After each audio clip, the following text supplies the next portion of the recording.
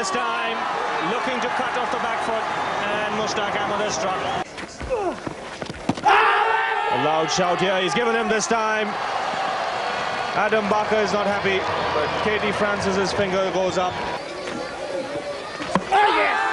Well, and yeah, he's gone, yes, he's gone bowled. And Rhodes trying to play the sweep, the paddle sweep, and that one, we'd have to wait and see whether it bowled him off his pad, but That's it! And this has gone straight up, and there are two men converging on it. There could be a collision. One has called.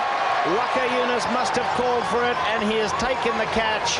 And Hansie Cronje, for once, didn't bring off one of his favourite shots.